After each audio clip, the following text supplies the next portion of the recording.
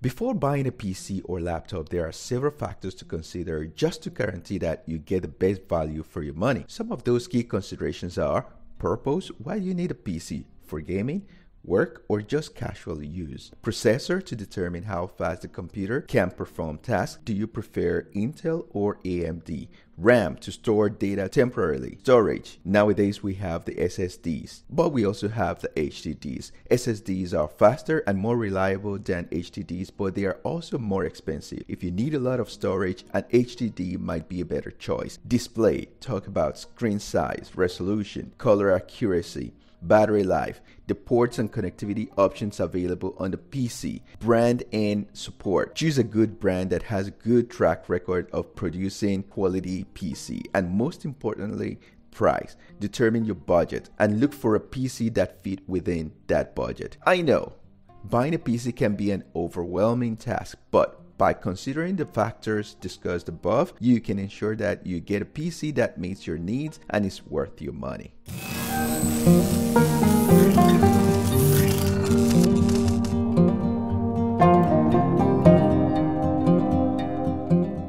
Hi YouTube, welcome back to my channel and for those who are returning, it's good to have you back. I'm Sebabs and in this video we're going to unbox and review the Acer Nitro 50 model, a pre-built PC with a 12 gen i5 6 core processor and everything you need to run demanding games and programs. We'll check each and every one of its features, functions, resolution, installing accessories, etc. But most importantly, we'll try to answer the question, is it worth it? One more thing, to avoid a long and boring video, we've decided to divide this video. The links will be included in the description below. So, without further ado, let's get started.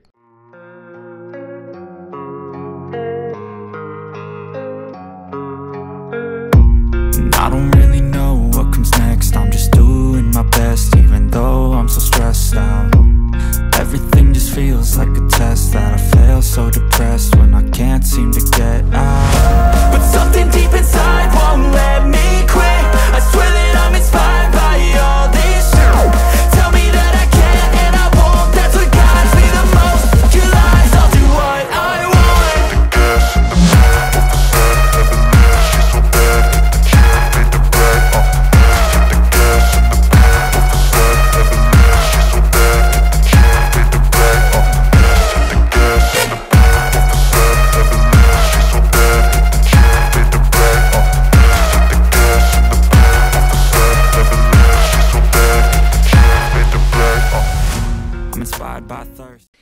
Included in the package we have keyboard,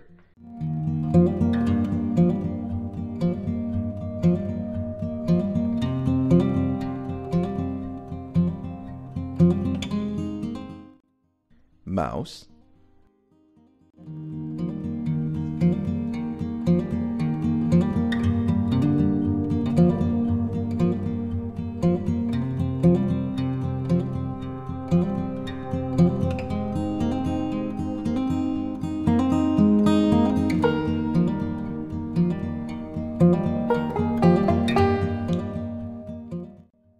power cord,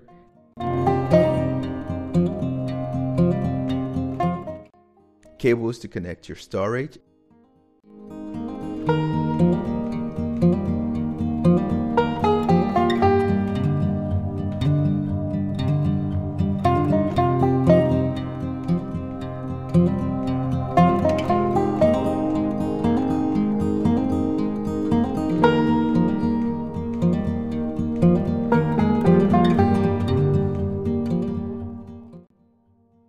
bag with some stickers,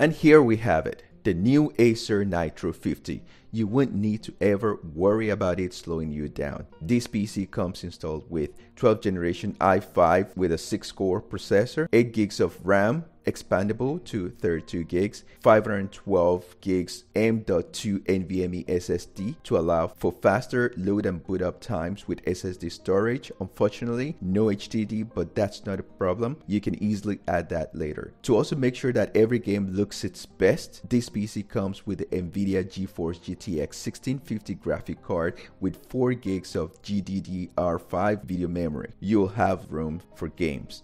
Additionally, DTS:X Ultra Audio and wireless Wi-Fi 6. Now, going on with the general description of the CPU, there is a front airflow with this case allowing for a little bit of ventilation. Kind of reminds me of the Messenger robot. Still in front here, we've got USB 1 Type-C port, one USB 3.2 port, microphone and headphone port, and then we've got a power button. At the rear, we've got two USB 3 ports, four USB 2 ports, an Ethernet port. You've got your audio jacks here, and then you've got a DVI and a HDMI port in the graphic card. Vents at the top, at the sides, and here below.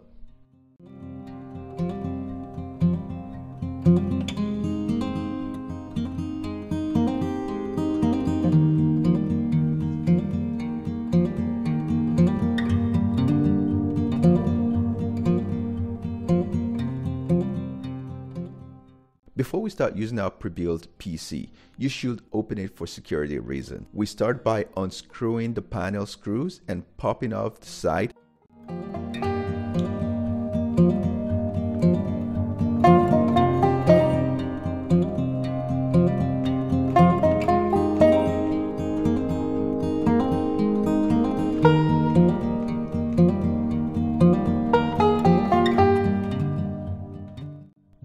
make sure there isn't any additional packing foam still stuffed in there, which is usually there to protect the components during shipping and also make sure all the cables are plugged in correctly, which you would assume would already be done. But you'll be surprised how many pre-builds have the connection loose or just flat out. The power supply is a 50 watt. The hard drive cages are also much more easily accessible as they come with a tray which you can remove, mount your HDD and slide back. As per storage, you can add two additional HDDs and or two additional SSDs. There is also one 8 gigs RAM with another slot ready to install or upgrade from the 8 gigs to a 32 gigs. Also, there is a Wi-Fi card installed so you don't have to buy extra cards or sticks. So yeah, I'm very interested to see how this new Acer Nitro 50 performs.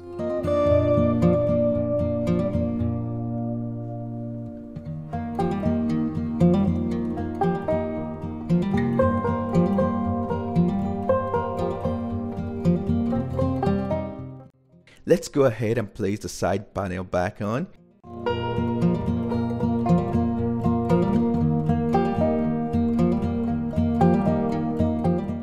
Now we plug in our monitor display using the HDMI or DIV. Can't really miss anything as the only ports to connect your monitor are in the graphics card and not in the motherboard.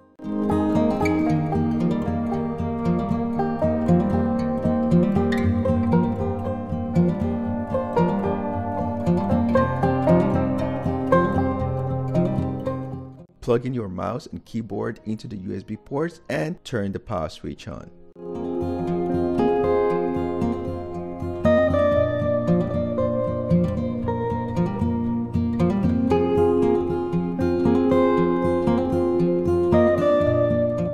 This PC came with a Windows operating system. In this case, we have a Windows 11. First, you'll be prompted to select your region or country, then click Yes. Select your keyboard layout or input method, then click Yes. If you want to add a second keyboard layout, please select Add Layout. Otherwise, select Skip. Select the network you want to connect to. Once connected, please click Next. If you're using a Wi-Fi network, ensure that you're connected to the Wi-Fi with the strongest signal to avoid potential issues with system settings and update failures that might occur with a weak signal connection. I recommend you connect wired the first time. Your PC then checks for updates and will probably restart. Wait. It comes back on, then you review the license agreement, click accept to continue to the next step, enter your preferred device name, then click next. Your PC checks for updates again and will probably restart. Wait until it comes back on. Enter your Microsoft account then click next. If you don't have a Microsoft account yet, you're able to create a new one and then click create one. Enter your Microsoft account password then click sign in. Create a Windows Hello PIN to give you fast and secure sign in. Click on create PIN. Enter a PIN you want to use then click OK. You might be prompted to restore your apps from an older PC setting if you have one. If not, just go to the next step. Choose the privacy settings you agree to let Microsoft access, then click Next, and then finally click Accept. You'll be prompted to customize your experience. Here, you are able to choose a way you plan to use your device to get personalized tips, ads, and recommendations with Microsoft experiences.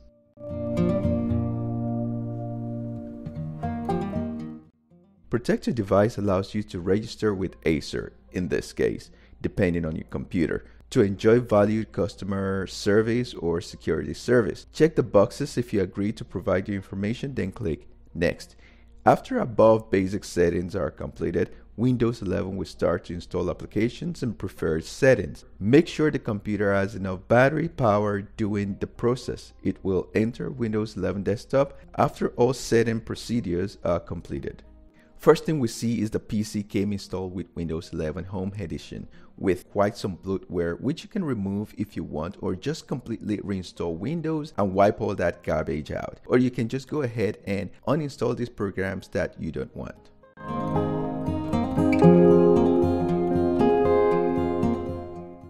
Next, it's advisable to update when on a new computer. You go to settings and start the Windows updates here. All the security framework chips drivers are all going to automatically update through Windows. You might get some outdated graphic drivers getting updated too, but you can go ahead and manually reinstall them later. After that's all done, your PC will ask you to restart, which is completely fine, and that's all. Your PC is ready.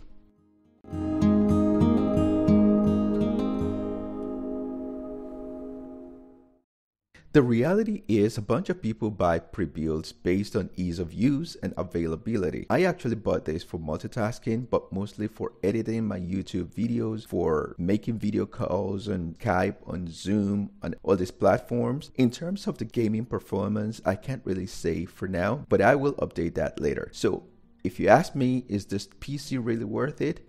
Definitely, that's a yes. For those who are only interested in the unboxing, that's it for now. Hope this video has been helpful and has given you enough information or insight on the Acer Nitro 50. But if you're interested in knowing more about it, the settings, the what and the where, etc., you can click on the link below or click on the end screen to access the second part of this video. I appreciate your time here. If you have any tips or programs you might want to recommend, or if you already have some experience you might want to share, go ahead and drop them down below. Don't forget to give us a thumbs up, subscribe to our channel, and hit the bell button so you get notified when we upload new videos. Thank you for watching, and as always, catch you guys in the next one. Peace out.